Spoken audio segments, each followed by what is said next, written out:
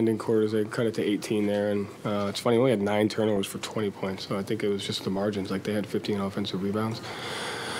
We had uh, nine, what seemed to be live ball turnovers for points, you know, and then they shot the ball really well from three. So uh, we got off to a really good start, uh, but it's a good lesson when you let a team hang around and, uh, you know, they made, you know, mar- those margin plays, you know, points off turnovers, three pointers, offensive rebounds. And uh, credit to them for, you know, battling back. What, what kind of learning experience is this for you guys? What's kind of the big, you know, takeaway you have from this? I mean, just it would be any game. Like, just got to uh, start quarters, end quarters well, and, and execution, and then the idea of uh, putting teams away when you can. You know, but also, you know, there's been that's like 58 now at least, but you know, there's 58 times 20 point lead has either been tied. Uh, or the other team has taken the lead. So it's it, the stuff like that's going to happen. We have to learn how to manage it, continue to learn how to manage it. We do by managing runs, uh, beginning quarter, end of quarter, uh, and then the margins. You know, those things are the most important regardless of who you play. Joe, what happened to the offense in the second half? It seemed like you guys scored 44 points, Yeah.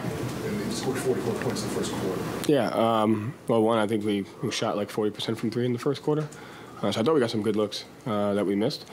Uh, but I thought their physicality, uh, you know, they uh, were extremely physical as soon as the ball got over half court. I thought that messed up um, just our offense, and they made us work for everything. So I thought uh, they defended us pretty well, and I thought we missed some some really good looks. You know, Payton, Sam, Fee, uh, KP, some of those guys. So you know, credit to them for their physicality.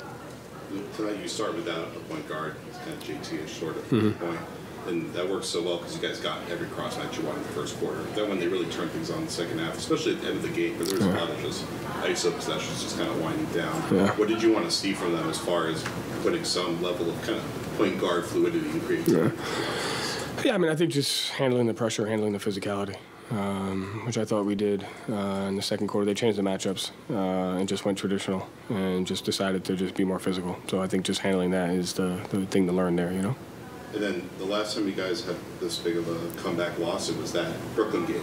Oh, yeah. To talk about. Yeah, yeah. And kind of similar thing with the you know shooting difference in Mm-hmm, the second half of things back. So I guess when you look back on that game a couple years ago, what kind of memories does that bring back having the same kind of loss? And how do you guys? Mm-hmm. I didn't remember it until you said it, so uh, I'd have to process it. But uh, I think it's just you know playing through stuff. Like it goes back to just it's just games like that. If you let guys hang around and they feel good about themselves, their role players played really well. Garrison Matthews, uh, two, uh, I think it was three for three threes. Uh, Bruno came in and changed the dynamic of the game. So when you let guys hang around and allow you know different role players to make high energy plays and uh, no matter who you're playing in the NBA, once it gets close, anything can happen. You know, so it's that space of uh, you know just working through that. You went with Jaden Springer for stretches of the fourth quarter. Um, what did you? Why did you want to put him out there, and what did you see from him during that stretch? Um, you know, he brings great physicality. Uh, his ball pressure. Uh, he got an illegal screen. He almost got a steal at half court. Uh, got a layup in transition.